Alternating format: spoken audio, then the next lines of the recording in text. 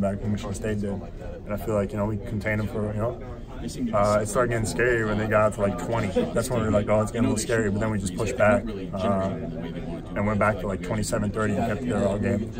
Just the offensive output in the first half. I mean, Carsen's obviously red hot, but the execution was great too. I mean, every time there was a window to get the ball into at the rim, you guys got it there. Just how can you function such a high level offensively um, against this particular team? Well, we just scouted it. Uh, you know, we, most of it was just scouting. Like their coaches just really telling us, hey, this is what's going to happen. Uh, and, you know, they know their stuff. So exactly what they told me that was going to happen. So every time I slipped to the rim, sometimes there was just nobody there. Uh, or there was uh, Phil Booth or Collin Gillespie was waiting for me and that you know that's just easy too. Were they kind of bailing on you too to go run out to somebody else? It looked like they were going one way and you were going to the rim. Right. Uh, I mean, our shooters had such like had such a gravity to them. Uh, they really were like concerned with keeping those guys you know off the ball. Um, that I just got, got easy slips to the rim. But the, the defensive performance too. What was working defensively?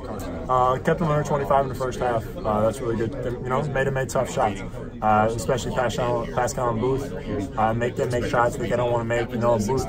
Um, Booth wants to get to the rim or wants to you know shot fake you, do that kind of stuff.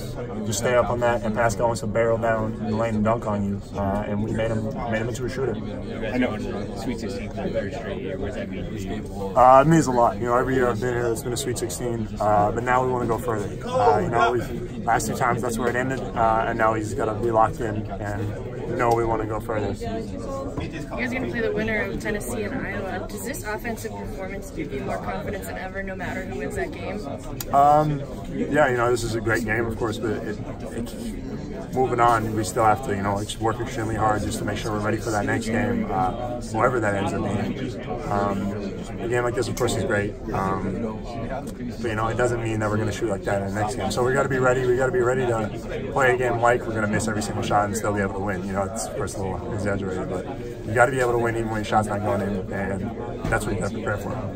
Correct me if I'm wrong, but I think you had a career high in dunks tonight. I mean, they were just leaving you open and lane all night.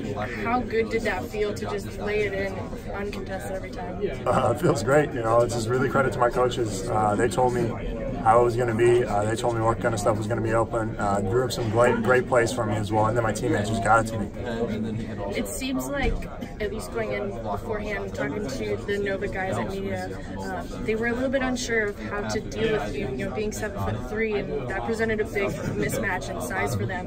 How did you guys capitalize on that? Uh, honestly, we didn't even like you know throw it into the block just because we were you know getting so much on those slips. Uh, I feel like they were really concerned with our shooters, uh, as they should, as they well should be, of course. You know, uh, Carsen was red hot. Cline was making some tough ones.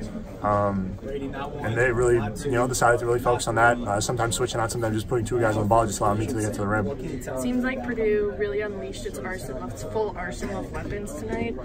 How do you guys use that going forward? Um, I mean, we've known we've known what we have as a team. Uh, we know what kind of team we are. We know the things we're good at. Um, we're just going to continue with that. Uh, continue working on the stuff we're good at. You know, continue like the thing I think biggest is biggest for this team on offense is just our execution. Uh, just cutting hard because we know how many good shooters we have. We know we have some good low post presence, and just guys you know scrapping on the boards as well. It's just about executing on offense, cutting hard, setting our guys up, setting good ball screens, that kind of stuff.